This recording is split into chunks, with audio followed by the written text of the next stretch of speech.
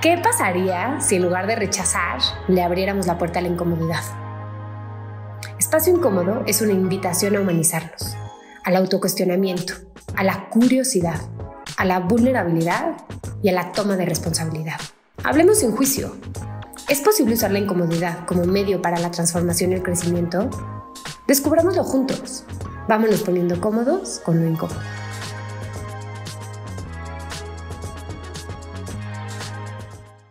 Bienvenidos a todos a un nuevo episodio de Espacio Incómodo, donde hablamos de todo lo que es incómodo pero que nos hace crecer. Y hoy tenemos para mí dos invitados muy especiales que son Lupita y Germán, eh, pues que los conozco de hace varios años y que llevamos mucho tiempo queriéndonos tener aquí, entonces me hace muy feliz eh, que estén aquí y les voy a pasar la palabra. No sé si se quieran presentar.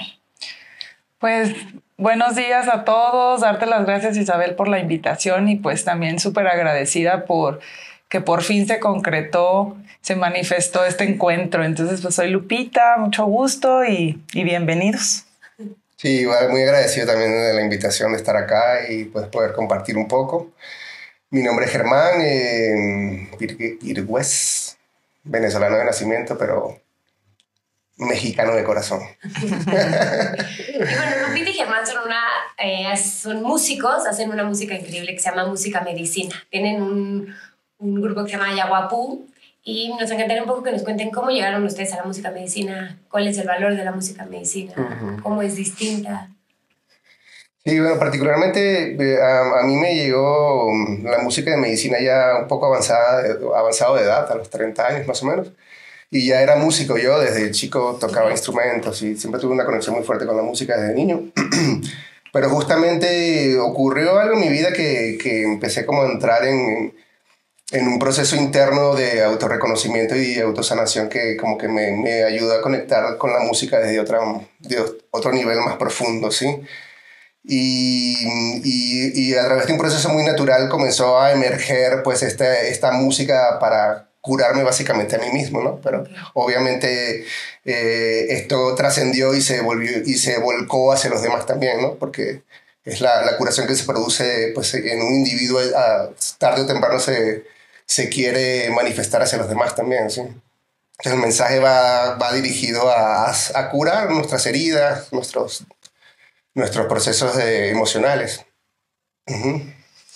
Pues sí, yo también encontré la música de medicina, pues le llamamos música medicina porque pues sentimos que es una música que realmente es un bálsamo para curar nuestras heridas, ¿no? Entonces yo también encontré esta música a través de, pues, de la propia búsqueda de estar buscando mi propia sanación. Entonces ahí la encontré y, y fue un verdadero descubrimiento y la atesoré con todo mi corazón, que pues ahora me dedico a, a también compartirla.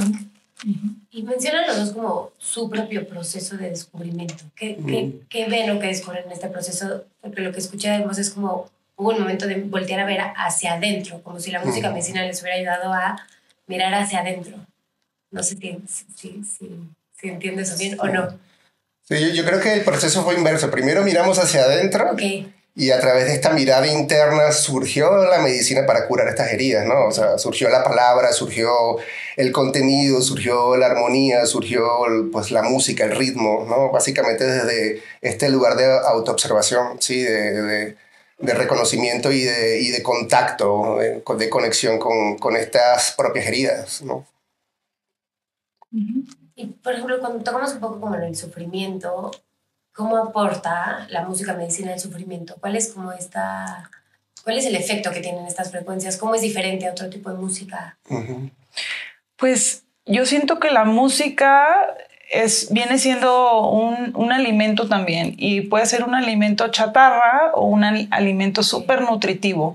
Entonces todo depende del género, ¿no? Ahorita en la actualidad pues hay muchos géneros que decimos, wow, en la, antes no se escuchaban esas cosas, ¿no? Entonces, sin hacer juicios de ninguno, pero simplemente yo creo que por pura lógica nos damos cuenta cuál es la música tóxica. Entonces, imagínate si todas toda esas, esas frecuencias tienen un impacto en nosotros, en nuestras aguas, en nuestras emociones, entonces en nuestro cerebro, en cada célula de nuestro ser, entonces, ¿qué estamos reproduciendo en, nuestro ser? En todo nuestro, nuestro ser, ¿no? Entonces, siento que, que es súper importante pues hacer mucha, mucha conciencia sobre este tema, porque realmente así como también está tan de moda, ay, la comida, la comida, la buena comida, la orgánica, esto, los superfoods no sé cuánto, pues también la deberíamos de poner atención en, en qué escucho. Entonces eh, creo que, que es súper importante porque pues la música tiene un impacto y cada vez hay más estudios científicos que lo están demostrando del impacto que tienen en nuestro ser. Entonces si nosotros escuchamos música que envenena nuestro ser, pues obviamente vamos a actuar desde ahí, desde, desde esa energía, ¿no? Y últimamente traigo como un, una atención muy fuerte en las palabras, ¿no? Como que dimensionar el poder de las palabras para crear, para cómo nos hacen sentir, que a lo mejor creemos que ciertas frases son como no tan importantes y cuando las palabras pesan, ¿no? No sé si quisieran decir algo sobre el cuidado con las palabras también. Sí, bueno, eh, hablando un poquito, retomando, y para atrás lo de lo, sobre lo de, lo de la música antes. O sea, eh, cuando, o sea, todo, todo el lenguaje es musical, básicamente también. O sea, el lenguaje es rítmico, o sea, eh, y y desde chiquito estamos expuestos a música, en el corazón de la madre, del, del, del, del eh, en el fluir de la sangre, todos siempre estamos envueltos en música. La naturaleza es totalmente musical, rítmica, ¿sabes? Entonces siempre estamos envueltos en, en esa música esencial natural, ¿sabes? Que, es el, que, que es lo que nos conecta y nos ayuda a comunicarnos con, con, el, con todo, ¿no?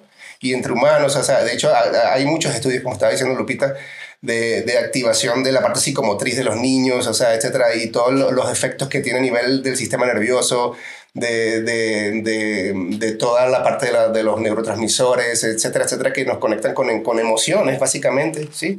Y, y, aparte, o sea, la música tiene ese poder de, de, ir más allá y el arte en general también, o sea, pensamos que, que te conecta con la parte emocional muy profundamente eh, a través del sonido, básicamente, ¿sí? los acordes mayores y menores, etcétera pero el contenido de la palabra, aunado a la música, al poder que tiene la música, el sonido, pues el contenido de la palabra es, la palabra es muy poderosa.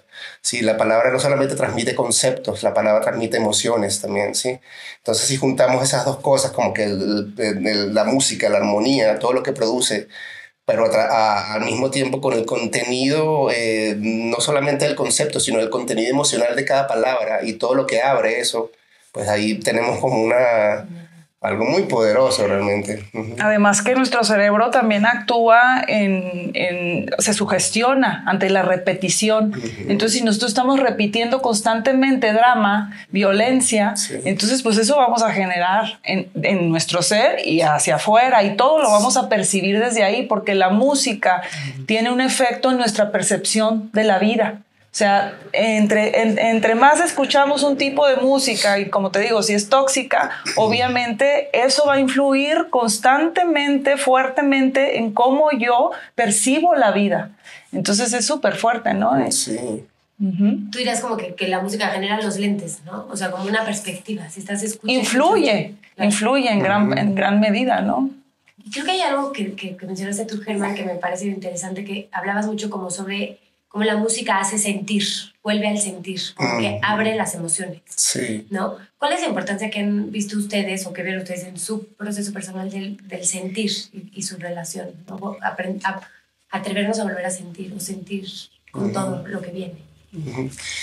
Sí, eh, pues tocaste un punto que para nosotros es muy central, ¿sí? El hecho de poder sentir eh, en, en, una en tiempos y en una sociedad que realmente lo que, lo que está buscando o, está tratando de hacer es que nos sintamos, ¿sí? Y mm, por el ritmo de vida, el trabajo, etcétera, tantas mm, situaciones en, en, la vida de todos, pues pero eh, es justamente el, sentir eh, en el cual podemos eh, entrar en un proceso profundo curativo realmente. Si, no hay, si nos quedamos solamente en un concepto, pues así lo podemos entender muy claramente lo que es el concepto y, hablar y todo esto, pero este concepto realmente toma, toma vida cuando se siente, ¿sí? Entonces cuando y algo de lo que hace la música y el arte en general es ayudarnos a, quitar las capas y, y, y, llegar hasta, hasta, el, hasta el poder sentir, porque es la puerta. Y, una sola palabra tiene el potencial, si la sientes, de abrirte un proceso curativo tremendo, ¿sí? Porque la palabra tiene un gran poder, ¿sí? De, de, de destruir o de construir, ¿sí? No sé si tú quieres decir algo. Pues sí, o sea, volviendo a eso también de, del, del sentir, o sea, realmente creo que es súper importante, creo que la música tiene el poder porque tiene un lenguaje distinto. Sí, la música tiene un lenguaje distinto porque tiene diferentes notas, armonías que tocan diferentes partes de nuestro ser y nos conmueven. Entonces a veces esa música cuando está eh, pues puesta al, servicio para sanar, a veces te detona el enojo, a veces te detona la tristeza, a veces te detona la alegría y lo que te detona está bien, es lo que necesitas. Entonces, pues yo he visto pues llorar a muchísimas personas a través de este tipo de cantos, ¿no? Realmente conmueve porque es como un abrazo, es como, es como permitir que sin, sin, sin, sin un lenguaje en palabras, es como permitir que alguien te entiende a través del arte. Es como me diste en el clavo, viniste a mi niña, a mi niño interno que tanto está, ha estado sufriendo por tanto tiempo y, te crea una atmósfera segura donde tú puedes, donde tú sientes, nadie te tiene que decir, Isa, aquí estás segura, llora, haz lo que quieras. Tú lo sabes, tú lo sientes con todo tu ser. Y entonces tú puedes abrirte y permitir vulnerarte ante, ante pues esa atmósfera que te crea ese tipo de, de música, ¿no? Que te hace sentir. Y ese sentir cambia, o sea, el permitir sentir eso que no se había sentido, ¿cuál es como el impacto de permitirnos a lo mejor sentir eso que, que, que no había yo querido sentir antes. Si lo permitimos, si nos quitamos del medio, como que puede detonar un proceso de liberación emocional tremendo, mental, físico, porque todo está conectado y una emoción contiene muchísimas cosas ahí. Entonces, justamente cuando se permite este proceso curativo, lo que se ayuda es a limpiar, ¿sí? limpiar las emociones, limpiar las energías, limpiar eh, incluso pues, las toxinas físicas y mentales o sea, eh, detona un proceso curativo natural en el cuerpo. El cuerpo sabe justamente cómo curarse a sí mismo, ¿sabes? La, y la mente sabe cómo curarse a sí misma. Pero cuando nos quitamos de ese medio y dejamos de interferir en este proceso curativo, pues realmente se, se liberan todas estas cosas y podemos sentir pues un espacio donde antes estaba, no lo había, pues hay un bloqueo. Pues simplemente es como permitir, ¿no? Es que realmente hay cosas que no se tienen que entender con la mente Simplemente es permitirle al cuerpo como una necesidad fisiológica que, como dice Germán, que se detone algo, que está listo para ser liberado y, dejarlo ser. ¿Qué es lo que hace que, voy a hablar en primera persona, me sea tan difícil permitir? ¿no? Como que creo que en, la naturaleza humana, tal, bueno, yo voy a levantar la mano, a mí me cuesta de pronto permitir. ¿Qué es lo que nos cuesta tanto trabajo de, de soltar o de permitir? A todos nos pasa, a todos nos pasa en una u otra medida. Pero lo que nos cuesta trabajo es un aferramiento justamente a una parte de nosotros que no, que no somos, ¿no? O sea, un aferramiento a una identidad que, que se, se, mantiene a través de el estar alimentándola, a través de emociones negativas, a través de, de dolor, de, de culpa, de, de enojo, de, todas estas emociones tóxicas que de alguna manera hacen que ese cuerpo siga, del dolor siga, siga latiendo, siga viviendo, ¿no? Y, y es como que quitarnos eh, del medio significa que, eh, de, cortar, pues, de alguna manera nuestra identificación con esto que siempre hemos creído que somos eh, y, que, y, que, sobre el cual gira toda nuestra vida interna y externa, que es una identidad de, pues, del dolor que, que se quiere alimentar constantemente y que si no la alimentamos, pues eh, reclama incluso. Entonces como que eh, es esto justamente parte del trabajo interno que estamos haciendo como que ayudando a, a, reconocer quiénes somos a través de reconocer quiénes no somos. Pero es un proceso interesante. Sí, o sea, yo, yo creo también eso, o sea, realmente a veces estamos tan acostumbrados a, por ejemplo, a vivir en la tristeza o en la depresión que si me dicen, oye, puedes, tienes la oportunidad de ser feliz y libre, pero me da miedo porque para mí es más familiar esta tristeza, esta, esta depresión, ¿no? Entonces, o sea, lo que no te permite liberar y, sentir, pues ese es ese aferramiento, como dice Germán, a esa identidad que hemos ido construyendo por tanto tiempo y como que alguien venga y me diga, liberarte es destruir esa imagen que no eres, pues cuesta mucho, ¿no? Porque es como una muerte. Entonces, pues no es fácil venir a, a, destruirme para resurgir desde la verdadera esencia. Yo creo que es un camino que todos tenemos que pasar. Realmente necesitamos quitar toda esa estructura que fuimos construyendo, ese armazón, para poder realmente emerger desde la esencia del ser. Y ahorita que siento, a mí, yo repito mucho una historia que ustedes una vez contaron del, del eh, de los pañales. No sé si la quieren contar porque creo que describe muy bien este tema de la identidad del rol. Y yo voy a una historia que, que luego le digo a la gente, bueno, me veo a mí misma con mis pañales seguido y le digo a la gente como, ¿no será que, que estás aferrada a tus pañales? No sé si la quieran contar porque creo que es muy gráfica sobre lo que están diciendo. Sí, así muy brevemente, no es nuestra historia, es una historia de un querido maestro que apreciamos mucho, que él cuenta como que eh, hace una eh, pues similitud entre los pañales de cuando usábamos cuando éramos niños con todas las cosas que le echábamos a, a, las emociones, sí. Entonces, como imagínate que tú de, que desde niño te cargaras todo, guardaras todos los pañales que tenías, que usaste desde niño y los tuvieras todos en un cuarto metido, o sea, y, y como que no, no, los tiraras a la basura, sino más bien los estuvieras conservando como algo que, que, te da, no sé, que te... Que, que te, que te, da vida o que te da seguridad. Te da seguridad, porque esto es tu pasado y todo lo que, lo que echaste en esos pañales. Entonces, como que la misma emocionalidad que, tenemos, que traemos también, estamos cargando nosotros con todas las emociones que, que, que eh, acarreamos desde niños, sí. por este y por aquello, y por mi mamá, y por mi papá, y por mi familia, y que la noviecita que tuve, y después el otro, y el otro, y así se van cargando todas estas cosas.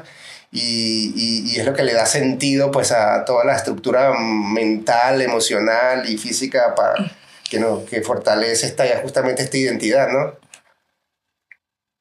Algo así. Sí, o sea, es, es como una metáfora, ¿no? En cuanto a, pues no, no, es, no es posible que estemos cargando con esos pañales mugrosos, o sea, toda la vida. Y, real, y aparte todavía se, venimos y hace 30 años me pasó esto y voy y abro el pañal y lo huelo y lo... Me explico, es como, es como seguir queriendo apegarnos a algo que pues sí nos pasó, sí tiene una importancia, sí le debemos un honor a ese momento, pero no podemos seguirlo reproduciendo y acuchillándonos toda la vida por una situación que ya pasó hace 20 años. Y, se, y, entonces a veces eh, fue una situación que ya pasó, pero nosotros somos responsables de seguirla reproduciendo. Entonces nos volvemos una víctima de nosotros mismos, ya ni siquiera de esa situación. Solo vuelves y vuelves y vuelves. y, vuelves. ¿Y de dónde viene como esta dificultad de, de, de, ser feliz, o sea, de soltarlo, pues de ser feliz, ¿no? Yo voy a contar lo personal, pero estaba en mi terapia y le dije a mi terapeuta, estoy muy contenta y está todo bien y no pasa nada. Me dijo, ese estado luego es más vulnerable que el que llegues aquí a quejarte, ¿no? Y como que a veces abrazar la alegría, eh, la gratitud, el gozo, es decir, tengo una familia, las cosas están bien, también puede ser difícil, ¿no? Como que estoy contento, están las cosas bien. No sé si quieran decir algo de eso, no es una pregunta puntual, pero... Es que yo siento que también mucha gente se aferra a querer aprender siempre desde la herida. Claro. Entonces es como que, no, es que si todo está bien, algo no está bien. Exacto. Entonces es como, te digo, o sea, es como una condición mental que tenemos de, de pues aferrarnos a estar sufriendo o creer que solamente podemos aprender a través del dolor, del sufrimiento, ¿no? Entonces de lo difícil, de lo duro. O sea, porque, o sea, siento yo que yo hace mucho traigo un rezo especial que digo, no, o sea, yo no tengo que aprender a través del sufrimiento, lo que llegue en la vida y me produzca dolor, bienvenido, porque la vida es así, pero yo no elijo aprender a través de eso. Lo que la vida me tenga que enseñar a través de eso, lo, lo acepto con todo mi corazón y mi apertura, pero yo no elijo estar en esa constante de que tiene que ser difícil y me tengo que arrastrar y me tengo que dar de latigazos para aprender, ¿no? Creo que también se aprende de unas maneras muy bellas a través de la sutileza cuando estamos presentes, pero si no estamos presentes y estamos todo el tiempo desconectados, obviamente la vida va a llegar y nos va a dar unas 3, 4, 5, 100 patadas. Entonces es como que también depende de dónde tú estás y cómo te vinculas ante la vida, ¿no? Creo que esa es una palabra muy bonita, Lupita, de presencia. ¿Por qué es tan importante la presencia en, este tipo de procesos de volver a sentir de la música? ¿Qué es lo que, que trae la presencia como regalo? Sí, bueno, yo, o sea, es muy amplio este tema, ¿no? Pero em, yo creo que la presencia eh, pues nos ayuda a poner atención, ¿sí? Sobre diferentes aspectos de nuestra experiencia. Y, y, en este punto creo que sí es algo muy importante porque la atención es un gran poder. ¿Sí? Donde ponemos nuestra atención, ahí estamos poniendo todo nuestro poder. ¿sí? Entonces, eh, eh, a veces eh, podemos, y también que ahí la atención puede variar, ¿no? Hay un tipo de atención que, que puede estar totalmente condicionada con nuestro dolor y nuestras memorias y nuestros recuerdos y nuestras, todas estas situaciones que cargamos eh, y que lo que hacen es alimentar justamente lo, aquello que no queremos, lo alimenta más, ¿sí? Porque estamos poniendo una atención con los ojos del sufrimiento, sobre, sobre el sufrimiento, sobre el dolor. Sí, pero si podemos, ponemos una atención abierta, ¿sí? Que, que, está más allá de los juicios, que está más allá del latigazo, que está más allá del culpable, que está más allá de la víctima, del victimario, o sea, que es una atención eh, abierta, desnuda, ¿sí? Que, que, va más allá de los disfraces y las máscaras que, podamos ver eh, y sentir, pues esto como que le da una cualidad diferente a la atención porque estamos abriendo eh, un espacio sobre, estamos atravesando como ese muro que, que, que, que, puede ser tan sólido, ¿no? que aparentemente sólido, de una emoción, de, un, de una situación en, eh, en, la vida, de una situación difícil. Entonces, eh, podemos poner atención, pero una atención amorosa, cariñosa, ¿sí? compasiva, amiga, amigable, amable, sobre algo que es difícil. Si eso le da, justamente es lo que ayuda a que esta situación se libere y no, no, no la alimenta más, sino que más bien le da lo que necesita, que es atención amorosa. ¿sí?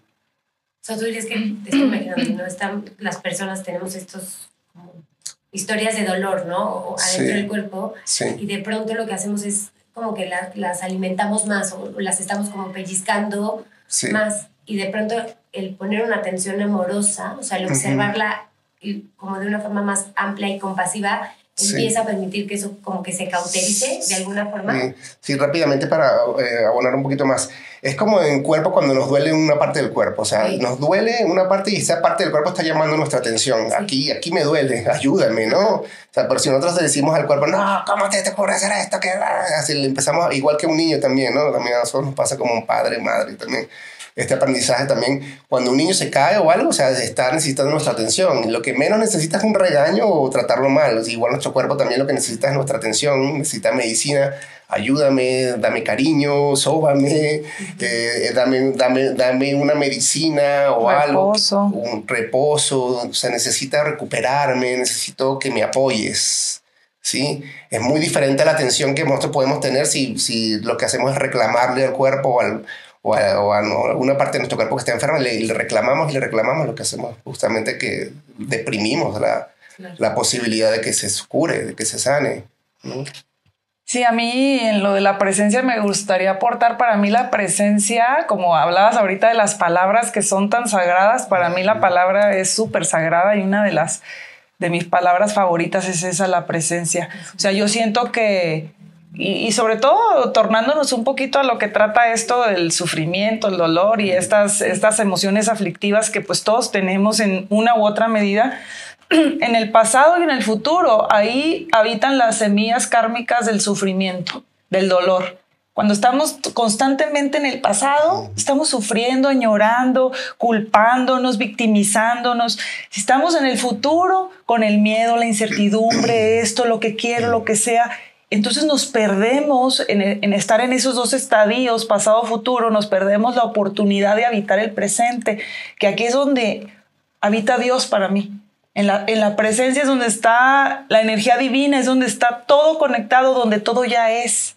Entonces, si, si, si empezamos a... Eso se tiene que cultivar, eso no viene solo, eso es una constante como yo les digo, siempre comparto una, pues como una metáfora sobre el jardín, sobre un huerto. O sea, realmente un huerto no se da nomás porque sí, un jardín hermoso, unas flores hermosas no se dan porque sí, se dan con la dedicación, la perseverancia, el cuidado, la atención. Entonces, pues la presencia es eso, realmente es cultivar tu jardín, tu refugio interno donde tú vas a cultivar la confianza, donde tú vas a cultivar el perdón, donde tú vas a, cultivar pues todas las, virtudes que te van a ayudar a sanarte.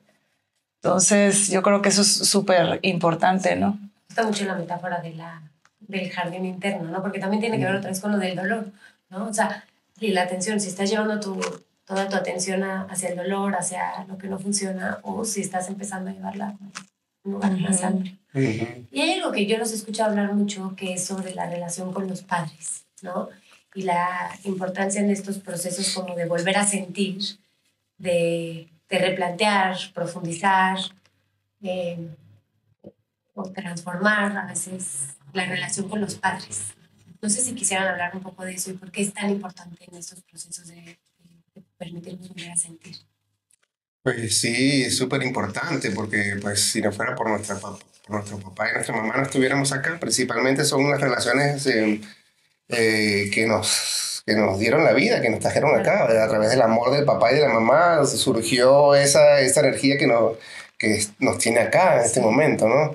Entonces, eh, o sea, la relación y el vínculo con la madre y el padre es muy, muy cercana, muy profunda, ¿sí? Entonces, eh, eh, y este vínculo eh, está dentro de nosotros, como el yin y el yang, como la energía femenina y masculina, pues está aquí presente dentro de nosotros siempre. Entonces, si hay una distorsión, si hay, una, hay un vínculo malsano con nuestro padre y con nuestra madre, pues así va a haber una pelea dentro de nosotros, ¿sabes? Entonces, como que, que sí, hacer este trabajo de, de, de alquimizar lo que hay que alquimizar, de perdonar lo que hay que perdonar, de de agradecer, pues, porque si no fuera por ello no estuviéramos acá, entonces como que tener la humildad también, o sea, para, para, para agachar la cabeza también, ¿sí? y ser humildes también, porque nuestro, nuestros padres y nuestra madre hicieron todo lo mejor que pudieron para, para, para tenernos acá en este momento, y siempre nos van a acompañar, ¿sí? Entonces es importante, yo siento que cualquier cosa que, que haya por ahí, hay, hay, hay, que, hay que curarla, hay que sanarla, hay que darle amor, hay que darle atención, hay que darle compasión, hay que darle ah, eh, calidez, amabilidad, pues porque lo merecen, no los merecemos y para, para estar bien nosotros tenemos que tener esto bien, bien sano. Sí, o sea, yo creo también, yo soy de la idea de, me gusta este sentimiento de no tener un conflicto con nadie en este mm. planeta. O sea, realmente siempre evalúo cómo estoy yo con mis vínculos. Y realmente, pues no digo que todos mis vínculos han sido perfectos, pero siempre he hecho todo lo mejor para que se sanen.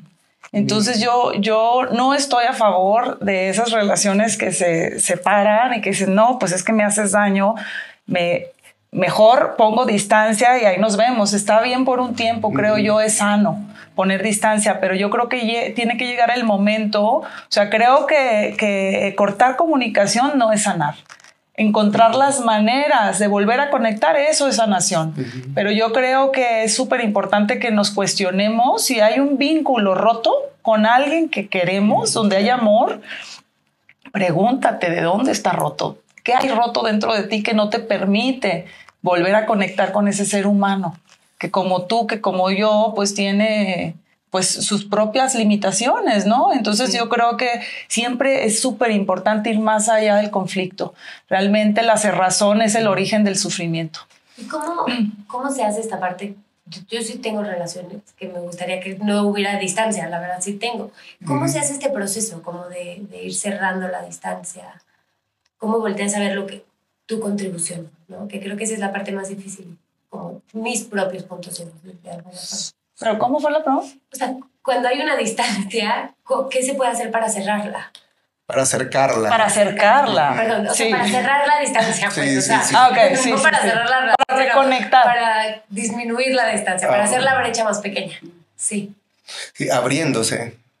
Okay. O sea, justamente abriéndose.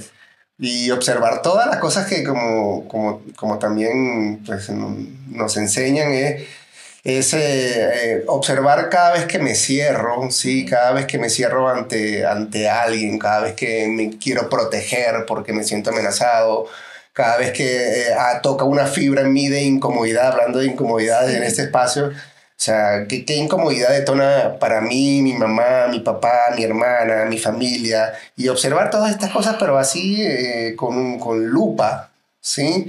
Y, hacer un trabajo interno a, través de muchísimas herramientas que, que, pueden ayudarnos a justamente abrirnos, porque si nos cerramos, eh, es cuestión de seguir, como hablamos en un principio, aferrándonos a una identidad que realmente no somos y que nos genera sufrimiento y que va a seguir generando sufrimiento si no, la, si no abrimos la puerta del, del sentir, de, de, la sensibilidad, del conectarnos y de, de, hacernos responsables de nosotros mismos, ¿no? básicamente, para hacer esos ajustes eh, paso a paso, como se pueden hacer, pero de ir acercando y de minimizando esa distancia, como, como, como dices. Pero no es hacia ellos, es, dentro de nosotros. La distancia no está ni siquiera en, en, en, las relaciones, está, está en mí, está dentro de mí. Entonces, ¿cómo acerco yo para, cómo me acerco yo a esto para, para minimizar la distancia y darle un abrazo a esta herida que tengo acá, que no, que aquel me está de alguna manera proyectando, pero es que es mi herida, ¿no? No es la de, no es la de, no es que él me esté hiriendo, o sea, sí, es por mi propia herida la tengo yo. Y sobre todo también revisar qué expectativas tengo yo de esa relación, ¿no? Porque a veces lo que, lo que ocurre es que me siento traicionado o traicionada porque ese, esa persona, llámese como se llame, no cumplió con las expectativas que yo tenía de esa relación. Entonces, ¿desde dónde vienen mis expectativas? Entonces, porque cuánto orgullo hay dentro de mí, cuánta arrogancia eh, hay dentro de mí que no me permite ver la bondad en el otro. Y, y, entonces aferrarme solo a lo que yo espero que mi mamá fuera, que mi papá fuera, que mi esposo fuera, que mi amiga fuera. Entonces perdemos demasiado tiempo en ese tipo de dramas, siento yo. Entonces, pero creo que es súper importante, pues siempre tomar responsabilidad tomar responsabilidad y no escondernos detrás de la arrogancia ni del orgullo. O sea, realmente desde el, yo fui víctima. O sea, realmente estoy en lo cierto, con justa razón pongo y te odio y lo que quieras. Yo siento que ese no es el camino, como dije al principio. O sea, realmente la cerrazón es el origen del sufrimiento, del dolor. Y creo que es importante abrirnos, es importante sanar por ti mismo, porque tal vez tú te separes de tu mamá o de tu papá o de tu esposo o de lo que sea, pero la vida te lo va a poner en otro, en otro, en otro ser con otro nombre. Y si no aprendes la lección, te la va a repetir y te la va a repetir con mil personas. Entonces es súper importante, yo creo que, que poner atención, ¿no? Y realmente tomar responsabilidad. Porque la herida está aquí, ¿no? Que creo que nos bastante. O sea, la herida la tengo el otro pica mi herida, no la hace, ¿no? O sea, el otro me recuerda que hay un dolor, no necesariamente crea ese dolor, ¿no? Y a veces la narrativa de la mente es, esta persona creó este dolor, no, esta persona me recordó que esto está aquí. O esta persona es una oportunidad potencial para que yo vea mi, mi herida, mi, este cuerpo del dolor que yo ya traigo desde que se me detonó, desde que a lo mejor estaba en el vientre de mi madre, no lo sé. Entonces, pues, ¿por qué no le damos la vuelta? ¿Por qué lejos de verlo como un villano, una villana, por qué no lo vemos como un maestro, una maestra que viene a ayudarme a hacer el trabajo difícil, que es verme? ¿Sí? La talacha. Muy bien. ¿Y cuál Ay, es que me quedé escuchando y me fue la siguiente. Ya me puse yo a pensar, perdí mi propia atención por estar pensando yo cuáles son mis heridas. Pero, ¿cuál es, eh, ¿cuál es la relación que ustedes ven que existe entre esto y el cuidado de la tierra? O sea, como esta dificultad que tenemos. Voy a hablar en primera persona, porque creo que es Como que de pronto yo he tenido esta dificultad de sentir, y esta dificultad de sentir me desconecta del otro, y esta desconexión del otro lleva esta ser, cerrar, ¿no? Mm. Y cómo hay un vínculo entre, entre la anestesia, que yo creo que sí es un poco colectiva, que vivimos como sociedad, frente al miedo a sentir de todo tipo de cosas, frente a mm. tocarle y decir, ay, esto es, pues, es mío, y tal vez lo que decía Germán, ¿no? necesita un poco de amor más que más rechazo, mm. y la forma en la que estamos cuidando el entorno. No sé que hay una relación. Claro, o sea, realmente, o sea, todo el deterioro de la, de la madre tierra es un reflejo del deterioro de la conciencia del ser humano. O sea, yo siento que estamos un poco en decadencia, ¿no? Realmente el, el, toda esta desconexión del ser humano, en la antigüedad el ser humano estaba súper conectado con la naturaleza. La naturaleza para mí es como decimos nosotros, el bodhisattva, o sea, es un bodhisattva palpable, tocable, respirable, visible, que nos está enseñando constantemente. La naturaleza no dice el árbol este, ay, ese me cae re gordo, ya esté para allá y a ver dónde, ¿no? O sea, realmente no hay competencia en la naturaleza, todo es interdependencia, pero el humano se desconectó y entonces nosotros empezamos a competir entre nosotros. Entonces eh, empezamos a, nos desvinculamos de la madre, de la fuente, del origen, que es la naturaleza.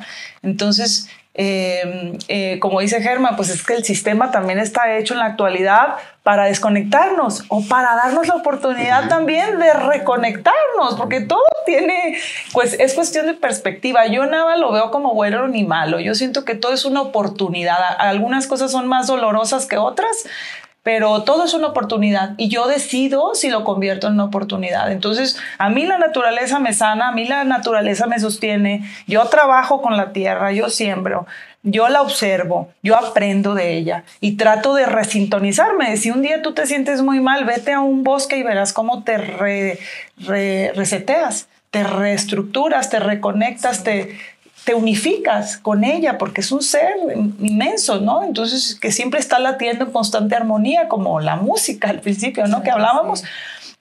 Entonces, tiene una armonía perfecta y el ser humano, pues necesitamos de esa armonía. Necesitamos del canto de los pájaros, necesitamos del agua fluyendo limpia, necesitamos, porque si la tierra se enferma, el humano se enferma tenemos que sanar, como dice un amigo mío, tenemos que sanar la tierra para sanar al, humano. Entonces realmente estamos totalmente vinculados. Si no cuidamos a la naturaleza, es como el suicidio de, la humanidad. Entonces es súper importante esta parte, ¿no? De, tomar conciencia. Y aquí es donde yo, yo siempre, tú me debes de haber escuchado antes, o sea, donde yo invito a la gente a decir, ¿dónde estoy consumiendo? ¿Con quién? ¿A qué le estoy aportando mi energía, mi dinero? O sea, realmente, ¿dónde estoy contribuyendo con este deterioro o estoy contribuyendo con, este regenera con esta regeneración? Y contribuyo con la regeneración de la tierra al regenerarme yo como ser humano, porque si yo me regenero, obviamente me va a importar porque me voy a amar, porque voy a empezar a cuidarme, pues me importa mi madre, mi madre tierra, ¿no? Más allá de la madre biológica y todo. Y a la final todo está conectado, ¿no? Entonces, pero es súper importante ver cómo regeneramos la conciencia, la mente, el cuerpo y regeneramos y contribuimos y colaboramos con la regeneración de la, de la tierra, ¿no? También.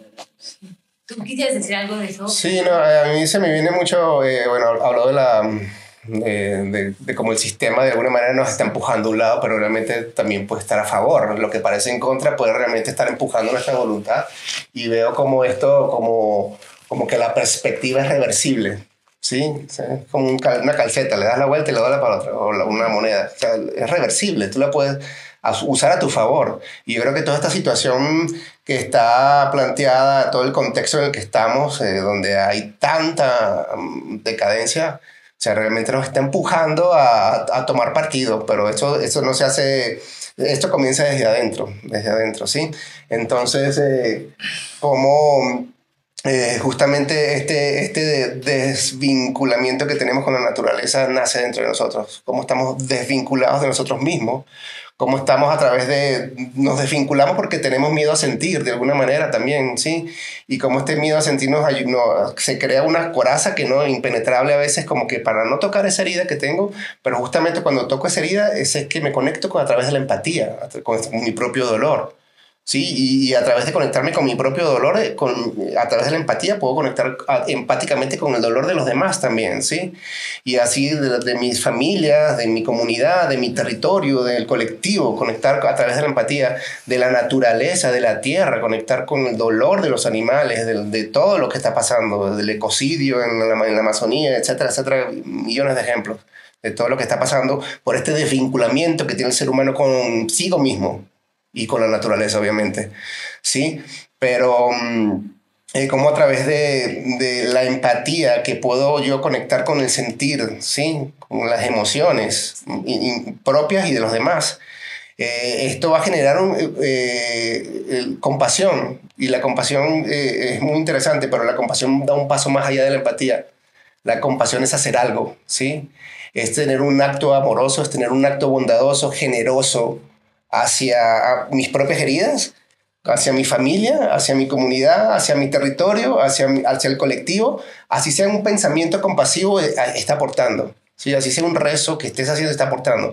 Ah, eh, obviamente las acciones tienen un peso mucho más, más, más fuerte, más poderoso. Entonces todo lo que ah, pensemos, todo lo que hablemos, todo lo que hagamos para justamente ayudar compasivamente a todo el proceso de sufrimiento colectivo, eh, familiar, comunitario, individual, pues esto está generando realmente algo beneficioso, ¿sí? Entonces como la tierra, eh, la naturaleza es la gran maestra, Nomás uno, uno va un, rato al, al, al, bosque a sentir la medicina del monte, como dice un amigo, y te reequilibra, te regenera, te, te pone en silencio, te pone en un lugar de paz. Si, si, contemplas quieto eh, todo lo que está sucediendo dinámicamente en, sin competencia, en la perfección, la naturaleza misma te habla, ¿sí? te cura, ¿sí? Y no solamente la, la, naturaleza, lo que vemos afuera, sino la naturaleza interna del ser humano está conectada con todos estos elementos básicos también de la tierra, del agua, del fuego, del aire, del espacio, donde nuestros, nuestros eh, ancestros tenían esto muy claro porque desde ahí partió todo. Sí, entonces como que esa pérdida de ese desvinculamiento interno, pues también eh, eh, tiene que ver con eso, con no vincularnos y no conectarnos con los elementos básicos de la vida. Y qué interesante esto, ¿no? Cómo la naturaleza, hay muchísimos estudios científicos de cómo entrar en un bosque en un segundo reduce el cortisol, o sea, físicamente el estar en un contexto natural nos cambia internamente. Y yo de lo que escucho es cómo la naturaleza te lleva a poder poner atención, ¿no? A la presencia. Y desde la atención puedo mirar la herida, y desde mirar la herida puedo sentirla, y desde sentirla puedo mirar al otro, ¿no? Hay un, un, maestro mío que, que yo admiro mucho que siempre nos dice que una de las principales causas del sufrimiento es la excesiva visión autocentrada, que le llama el yo mío y para mí, que también creo que tiene que ver un poco con lo que estás mencionando, Germán, de empezar a también a voltear la mirada hacia afuera, ¿no? No, no hacia afuera como en distracción, sino mirar a, a la mía hay una persona que sufre, el, el agua sufre, ¿no? Hay una, o sea... La empatía. La empatía, ¿no? El valor de la empatía. No sé si quiero agregar algo de eso, como de, del el ejercicio de, de, de mirar al, otro, de, voltear la mirada, no desde la distracción, pero de decir, oye, aquí hay otra persona que también sufre. Pues sí, súper importante eso, porque somos, no somos, no, no, somos solamente un individuo, realmente como decíamos, la, somos interdependientes, todos necesitamos de todos. Entonces realmente yo creo que es súper importante el, el, ver al otro, la empatía, esta virtud tan hermosa la gratitud, realmente de, ver la vida con asombro, con milagro, que cada instante, cada respiración es un milagro, porque realmente cuando perdemos eso, pues es donde nos ensimismamos en eso que dice tu maestro, ¿no? Es yo, yo, yo, mi historia es súper importante y la hago cada vez más grande y más. O sea, le doy demasiada importancia a, a mi, a mi proceso, a mi vida, cuando pues estamos en un proceso colectivo. Entonces, y también, o sea, yéndonos como a esa empatía, o sea, tampoco hay que caer en, la, en, la, en el fatalismo, porque ahorita está pasando tanto en la humanidad que pues a veces perdemos la esperanza. Pero yo, yo hablaba hace poco tú sabes que yo trabajo con la tierra y, y, soy guardiana de un banco de semillas, entonces cada semilla me enseña tanto. Un día vi una semilla tan chiquitita, pero de una planta tan poderosa. Entonces, el poder ver esa semilla, y, yo siempre digo eso, o sea, la destrucción hace mucho ruido. La destrucción, las bombas, el, el que tumben un árbol, hace mucho ruido el derrumbe, pero la, la luz, la conciencia, la vida, eso no hace ruido. Eso ocurre en silencio. Entonces, al ver esa semilla, ¿cómo no voy a tener esperanza en mi ser? O sea, ¿cómo no vamos a tener esperanza en nuestro ser si una semilla puede albergar tan minúscula como del puntito de una aguja, que te, una picada de un puntito de una aguja, guarda tanta sabiduría? Realmente tenemos que confiar en la grandeza de nuestras propias semillas internas. Entonces, no enfocarnos solo en las semillas negativas, o sea, hay que ver también nuestras semillas hermosas, sagradas. Entonces, a veces ahorita está todo como la terapia para acá, la no sé qué, que ahora la psicoterapia, que la tal, que, la, que las ceremonias, que hay mil cosas, herramientas ahorita, pero ¿desde dónde nos vinculamos con todo? Porque yo incluso digo, hasta la terapia puede ser perjudicial cuando no te conectas desde el lugar correcto.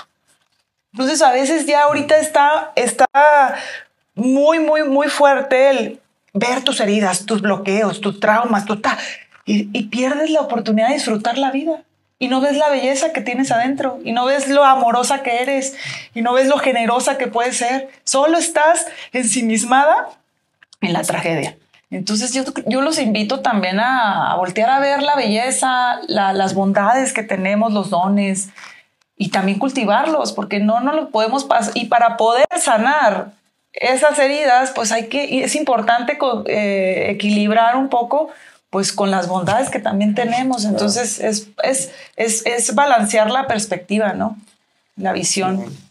Es muy interesante porque justamente el proceso de transformación interna es eso, ¿no? Es alquimizar una energía y transformarla en otra, ¿no? La alquimia. Y mm, y justamente, o sea, todo de acuerdo a la perspectiva que, que, uno tenga desde el lugar que uno esté observando algo, pues así le da otra connotación totalmente diferente, ¿sabes? Entonces, eh, por lo menos hay, eh, hay unas prácticas de meditación que, en la cual te, te van, nos van conduciendo hasta un punto en que puedes observar tu, tu herida y tu dolor, pero desde esa atención que estábamos hablando eh, hace un principio, con esa, esa atención amplia, sin juicio, sin análisis, sin nada, conectar con lo, con lo subyacente, con lo más eh, básico de, de, esa energía emocional. Y desde ahí permitir que se libere por sí misma porque no la estás observando sin alimentarla. Sí, más que poderoso y sin, eso, y sin rechazarla, ¿sí? sin querer cambiarla, sin nada, observándola desnuda. ¿sí? Entonces se, se, libera porque no hay nada que, que la sostenga, no hay nada que la sostenga, no, hay, no, no ancla. ¿Sí? Entonces eh, y de alguna manera atravesar esa, esa nube, ¿sí? como dice el canto, atravesarla, que parece tan sólida que impenetrable, pero la atraviesas a través de esta, de esta tensión y te conectas con un espacio abierto donde no hay nada. No, existe, no, no existe nada, solamente la pura atención y la pura presencia y desde ese lugar percibir que eh, eh, eh, hay, una, hay, hay, algo fundamental, bondadoso, amoroso que todos traemos desde que nacimos, antes de que nos pusiéramos tantas máscaras y tantas identidades y tantas cosas. Somos seres totalmente libres, ¿sí? De dolor y que nos vamos poniendo capas y capas de dolor a través de, de nuestras padres, nuestras familias, nuestras experiencias de la, de la escuela, de la cultura, de etcétera, etcétera. entonces, pues perdiendo la oportunidad de, vivir la vida de otra manera, más, con más sentido, ¿sabes? Con más valor, con la posibilidad de hacer desde un lugar más, más abierto, ¿sabes? Para contribuir, ¿sí? Porque si no, no estamos contribuyendo. Y, realmente también esta reversibilidad de las cosas, eh, eh, cuando tomamos estas situaciones eh, que nos, difíciles que, que todos hemos pasado y que vamos a pasar, o sea, como, como algo pues, que nos inspire, ¿sí? Como algo que nos, realmente nos inspire. O sea, a mí, eh, justamente este que estabas hablando de, de, de, la empatía y de conectar con todo lo que está sucediendo ahorita, estábamos hablando, eh, es algo que me toca profundamente, porque a mí eh, ver el, el, dolor de un ser, pues me, me, me, conmueve hasta mis fibras más profundas, realmente. Pero puedo elegir, ¿no? O sea, me quedo en el fatalismo y en ese dolor, o realmente tomo eso para inspirarme y hacer un canto, o, hacer, o hablar esto que estamos hablando o, o, desde ese lugar poder eh, contribuir realmente. En distintas veces, distintas veces me ha pasado esto con situaciones en mi país, de Venezuela, que de repente, gracias a mi esposita aquí también me, me ayuda, como, o sea, podemos, ¿desde dónde ayudamos más? Desde estar hundidos ahí en las arenas movedizas, junto con todo lo que está pasando, o desde ponerme, que me salgan las alas y poder ver las cosas más desde arriba y desde un lugar más ligero poder contribuir, ¿sí?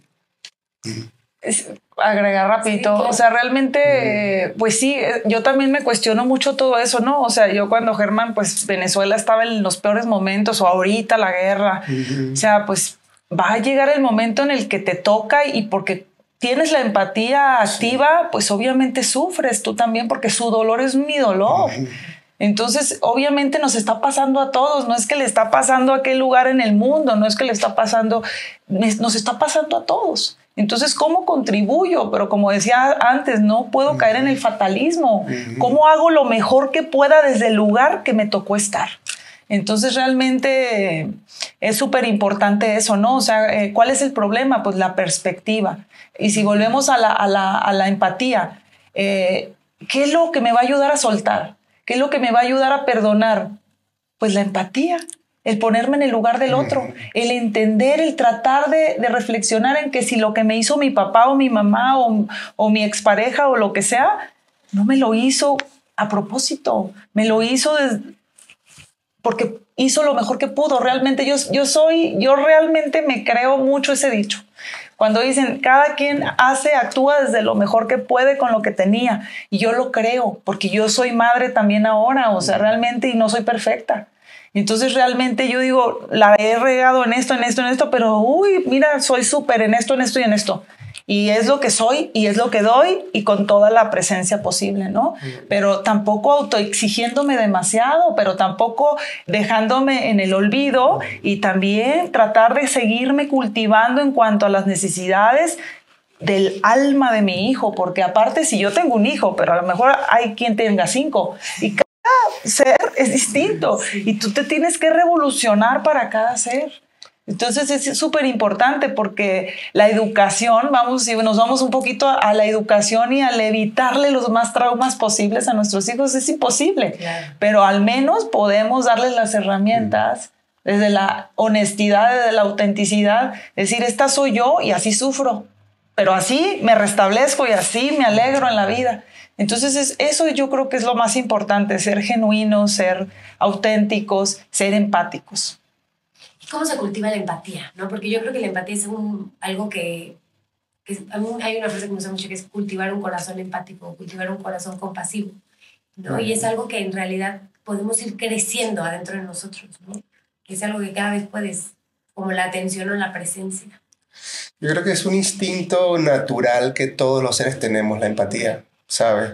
Lo que pasa es que de repente se ha bloqueado por tantas situaciones eh, que, emocionales que de alguna manera, como estábamos hablando, o sea, el sentir, hay gente que se bloquea porque es mucho, no, no, no quiere, sino no lo quiere permitir. Pero realmente eh, es algo muy natural, desde que nacimos hasta que morimos, ¿sabes? O sea, hay, eh, hay un ejemplo de, de puede haber un, de repente una persona que haya sido muy mala en su vida, ladrón, etcétera, o que haya hecho mucho daño, pero si ve un niño cayéndose en, en, el agua, el primer instinto que tiene es ir a salvarlo. O sea, no importa lo que haya hecho.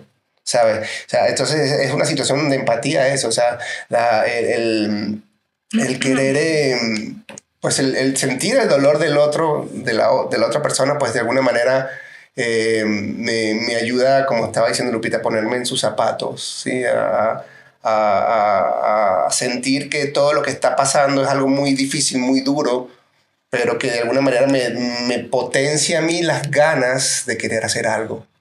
Porque también se me venía mucho algo que dice un, un, maestro nuestro, que es que esto no solamente lo estamos haciendo por nosotros, o mejor dicho, esto no lo estamos haciendo por nosotros, esto lo estamos haciendo por todos. ¿sabes? A, esto me refiero a, a todo el proceso de crecimiento, al proceso curativo, al proceso de despertar la conciencia. Esto lo estamos haciendo por, por el beneficio de todos los seres, porque genuinamente todos queremos ser felices. Genuinamente todos queremos ayudar a los demás a ser felices. Sí, entonces un poco trata de esto. Yo creo que para mí la empatía se cultiva en la mm. presencia, mm. en, la, en el permitirnos sentir, en mm. el cada vez estar más conscientes de, de qué siento, cómo amanecí, cómo estoy, en reconocer eh, cada emoción en, en, en, darle su lugar. O sea, desde el empezar a ser empáticos con nosotros. Entonces, desde vernos, empezar a voltear a vernos en todos los sentidos y reconocernos en todos los sentidos, en todos los estadios de, la, de, las matices de las emociones. Entonces yo creo que ahí pues nos empezamos a volver empáticos con nosotros y empezamos a sentir empatía por el otro. Entonces empezamos a sentir empatía por todo.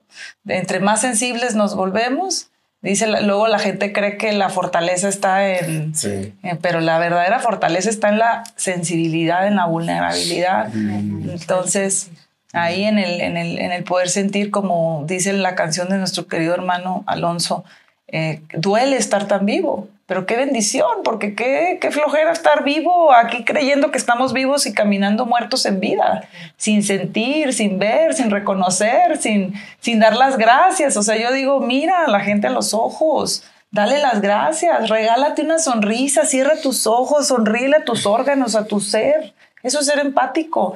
Agradecele a tus riñones todo el trabajo que está haciendo para que tú estés aquí bien de bonita y de bonito funcionando.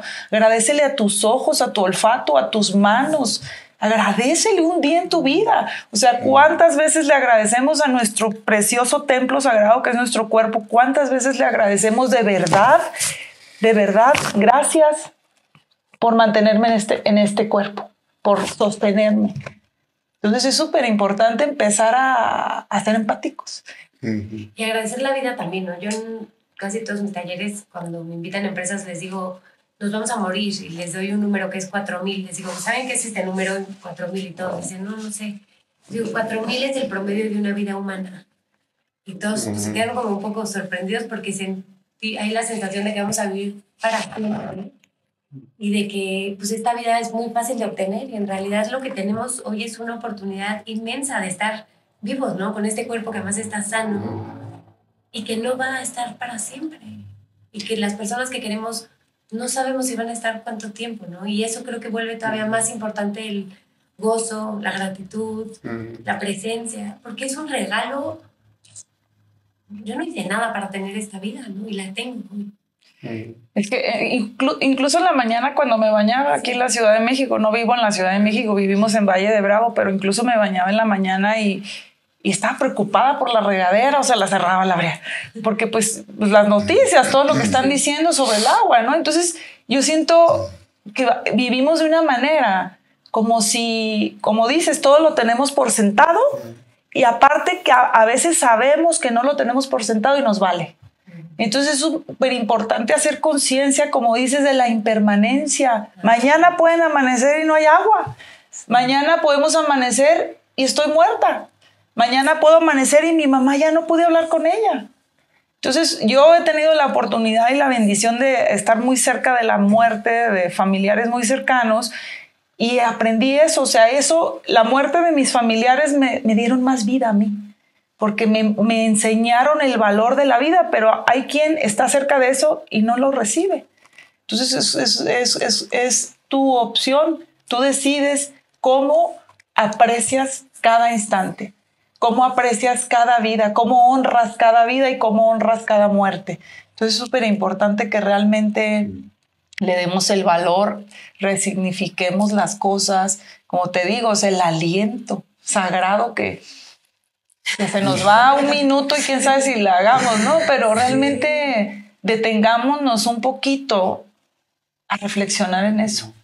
Entonces, yo les digo, siempre les digo a la gente, cada vez que te vayas a dormir, vete ligero, porque no sabes si te vas a despertar al otro día. O sea, yo cada vez que salgo a la calle, le doy un beso a mi hijo, porque no sé si voy a regresar y lo veo con todo el amor como si fuera la última vez.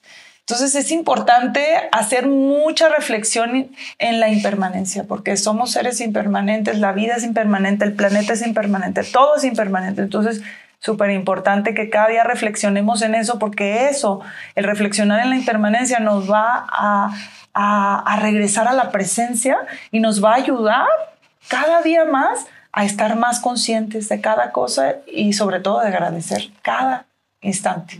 Porque bueno, y ya me estoy, pero por ejemplo, en la impermanencia también se vuelven más fácil las emociones difíciles, ¿no? Porque dices, en este momento estoy sintiendo esto, pero va a pasar. Pero va a pasar. No, va a pasar. O sea, si me doy el permiso de sentirlo, va a pasar. Sí. Hay algo que, que van a decir, ay, ¿cómo Betabel no nos preguntó, cómo no nos hizo esta pregunta que dijeran, este, hay algo que les parezca importante, que digan, ojalá hubiera preguntado eso, cómo se le fue o, algo por el estilo. Que sea como, o que sientan que es importante compartir. No, pues la verdad que hemos estado muy incómodos en este espacio incómodo. incómodo. Eh, porque así nosotros creemos mucho en la fluidez de la energía, de, de, cómo, de cómo va viniendo. Tal vez sí, de, de repente más adelante dices, ay, hubiera dicho esto. Pero no, es lo que es, es lo que está surgiendo en el momento genuinamente y para nosotros lo, espontáneamente. Sí, es muy curioso porque realmente tú nos enviaste, pues, ¿no? El, Pero realmente como que yo también soy de esas, le digo a Germán, o sea, yo no puedo preparar nada, aunque quiera no puedo, porque confío en la guía. Entonces yo siento que cuando hablas desde la teoría, yo creo que es más importante hablar desde la experiencia. Porque como le decía Germán esta mañana, le digo, mira, a mí me, yo puedo tener al maestro más fregón enfrente de mí hablándome de la teoría y de lo que dicen los textos y no sé cuánto, pero si no me lo, no me lo filtra a veces su experiencia es muy difícil que yo lo, lo reciba. Entonces yo siento que hay un poder muy grande en la simplicidad de las cosas, pero si vienen a través de la experiencia del otro y de cómo el otro alquimizó lo que sea que le pasó, eso yo lo recibo es como un, un código. Entonces a mí no me gusta echar mucha parafernalia en las cosas, simplemente hablo de lo que yo vivo, de lo que yo practico, de lo que a mí me funciona y eso no quiere decir que a ti te va a funcionar. Tú tienes que encontrar tus propias herramientas, pero pues es muy bonito a veces inspirarnos a través de lo que le funciona al otro. Puede que me funcione, puede que no. No hay una regla fija de cómo tenemos que ser. Yo creo que cada uno es muy orgánico, este, los procesos de la vida y cada vez van cambiando. No me puedo seguir aferrando a seguirme sanando de esta manera cuando necesito la otra. Es muy importante estar presente, consciente, atento para podernos dar cuenta de cómo van evolucionando los propios procesos y cómo yo misma me voy pues procesando a través de eso, ¿no? Entonces es cómo me filtro, cómo yo misma pues eh, me comparto, cómo, cómo percibo, cuál es mi, cómo recibo pues la información del otro, o sea, todo depende de dónde estoy parada ahora, ¿no? Entonces es súper, siento que es muy importante que, que siempre venga la información a través de la experiencia del otro. Sí, justamente, eh, em, pues haciendo este ejercicio de estar presente, ¿no? O sea, que todo lo surge solo, ¿no? De alguna manera, como que más allá de, preparar algo activo o aferrarnos a que una cosa sea como, como queremos que sea, cuando nos soltamos, como que ocurre la magia, ¿no? Así pasa en la música también. A veces eh, simplemente desaparecemos y queda la música. O sea, ya me quito del medio. Me pasa, nos pasa a veces. Y queda y surge la magia, ¿no? Del momento, del presente, del sentimiento, de, todo lo que está sucediendo en, en, este infinito momento. Así se surge naturalmente, ¿no? Y así surgen las canciones también desde este espacio. ¿sí? Los cantos surgen desde este espacio. Cuando estoy tratando de, como personalmente me pasa, como que de querer controlar algo y aferrarme a llevarlo a, lugar, a algún lugar, no sale nada, se bloquea. Cuando dejo que el canto que ya existe en alguna dimensión, existe el canto, que venga como quiere, como quiere venir, eh, ya tiene vida propia. O sea, es como que yo no soy ya nada, o sea, es como las palabras vienen, o sea, simplemente permito que suceda esto y, y vienen los cantos que tienen que decir algo que, que, obviamente estoy viviendo yo personalmente, en mi mente, en mis emociones y en todo, pero el, pero el canto viene como de una, medicina, de una dimensión medicinal que viene solo, como una fuente. Es como un mensaje que ya está. Sí pero se filtra a través del mensajero y la tonalidad que va a salir es depende del mensajero. El mismo mensaje puede ser, pero si viene a través de Germán, sale de un color, si viene a través de ti, sale de otro. A él le puede servir el color de él y al otro el otro. Por eso es importante la diversidad y respetar todos los caminos, porque nadie tenemos la verdad absoluta, nadie. Entonces, el que, el que crea que tiene la verdad absoluta está perdido. Entonces yo creo que es súper importante el realmente, incluso, o sea, yo puedo estar hablando de algo ahorita que tal vez en el futuro no voy a estar de acuerdo con eso. Entonces es también ser amable con esa parte de uno que va evolucionando, ¿no? Eh, tenía ideas anteriormente en mi vida que tal vez ahorita no coincido y entonces respetar en el momento que las tuve, que me sirvieron, fueron una bendición. Yo creo que es súper importante ir por la vida, que aunque no estés de acuerdo con un punto de vista, pues respetarlo. Siempre, ¿no? Y obviamente, pues cada quien que siga su camino y su proceso con sus propias eh, necesidades y herramientas que, que le funcionen. Y la presencia, yo creo que esa sí fue como, como hablamos mucho de la presencia, bueno, o sea, la presencia, Pues muchísimas gracias a los dos. Yo les agradezco mucho su tiempo, que estén aquí, que hayan compartido con todos nosotros. Y pues sí, muchísimas gracias, de verdad. Gracias. Gracias, Lisa. Muchas gracias por acompañarnos y navegar la incomodidad con nosotros. Nos puedes encontrar en nuestras redes sociales, eh, Espacio Incómodo, y visitando nuestra página de internet, espacioincómodo.com. Aquí podrás encontrar talleres y herramientas que tenemos para compartir contigo. Nos vemos pronto.